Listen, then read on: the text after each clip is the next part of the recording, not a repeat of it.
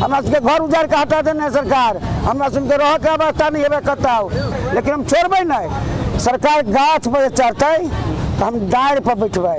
आ डाढ़ पर बैठतै तो हम पत्ता पर हबै। आ पत्ता पर बैठतै तो पानी उड़ ओकरा गेट पर पेट्रोल ढार के, धरना दे के आग फूक के। हम में रहबे करबे जरबे करबे जब तक हमारे मांग, सुनील यादव के मांग नहीं पूर्ति होता है, शांति देवी के मांग नहीं पूर्ति होता है, ताले स्थापित सुनील यादव के नहीं होता है, ताले ये हम सुन रास्ता नहीं कटबे भूखला प्यासल एक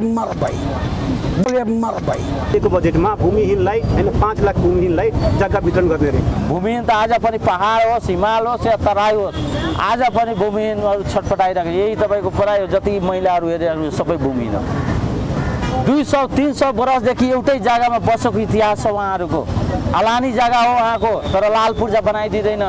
तर त्यही जङ्गलको जग्गा भूमाफिया तपाईँको जसको काठमाडौँमा महल छ हेतावडामा महल छ सिन्धुलीमा महल छ उदयपुरमा महल छ त्यस्ता माफियाहरू गएर तपाईँको बिगाको बिगा मारुति सिमेन्ट जस्ता मा माफियाहरू चाहिँ आफ्नो कब्जामा लिएर लाल पूर्जा बनाएर त्यसमा मोटो मोटो रकम तपाईँको ब्याङ्कबाट निकालेर पर्छ दलित भूमिहीन के नाम पर पहाड़ में मफिया सब बीघा के बीघा बोन फरानी करके खेत जोते है, बोन के उजारे है।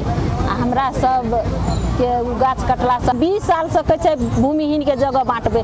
तो कौन सरकार के प्यार पड़ गया हो दलित के दोहार पर? कौन सरकार जाके कौन है दलित के कि हम चल ज़मीन दै बजले से हेतै कि करतै तब हेतै? बजे ला तो चोरवा सुनू ना केबाड़ी ढोइ के बजे है। बाहर निकल के बजो ना।